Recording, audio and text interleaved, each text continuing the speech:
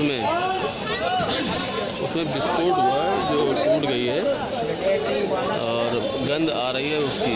पूरी बोगी चक्री जा रही है।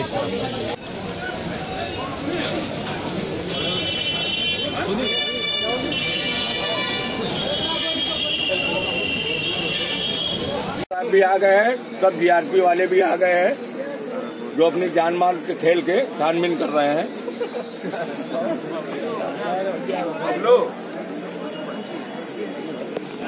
मेरा नाम राहुल चौधरी है। अच्छा। मैं क्या हुआ रहने वाला हूँ। मैं बोगी में बैठा था इसमें और इसके बाद में मैं टॉयलेट करके जब ही ऊपर चढ़ा उसके एकदम धमाका हुआ।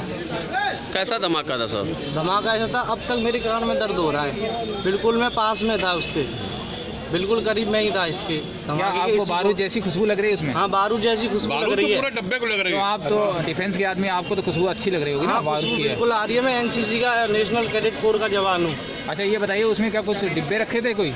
या गत्ते टाइप के रखे थे आसपास वहाँ पे कोई? नहीं ऐसा कुछ तो मैंने नहीं देखा। हाँ।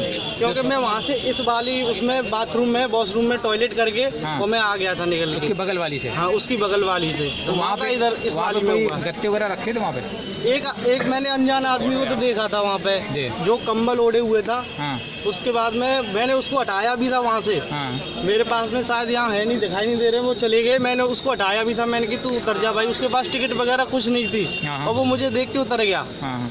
अब उसके बाद ये नहीं पता कि वहाँ उतरा था मैं ऊपर चढ़ गया हूँ और उतरने के बाद में धमाका हो गया। है ठीक ठीक।